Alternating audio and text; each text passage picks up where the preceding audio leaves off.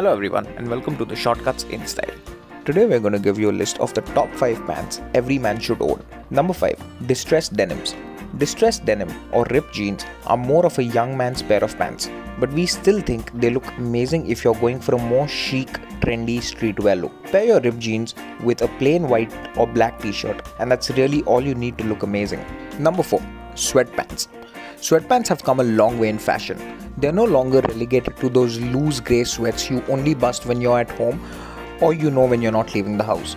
A nice pair of well fitting sweatpants can look amazing and can be used for anything from going to the gym to running errands on a Sunday while still looking sleek yet comfortable. Number 3 Trousers. Trousers are kind of a wide category. They can cover anything from dress pants to, well, anything that really goes over your legs. In this case, we love the current trend of cropped trousers. Pair them with some clean white sneakers and you can't get a better summer look.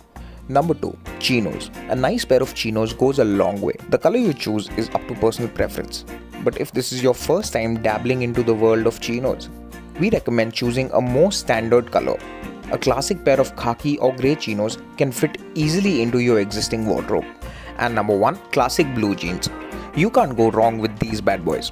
Well, you can if you get a pair that doesn't fit. But blue jeans are the foundation of your pants empire. Your main pair of blue jeans should be high quality, properly fitting, and comfortable. So, this was our list of the top 5 pants every man should own. Let us know your thoughts in the comment section below. Thank you for watching.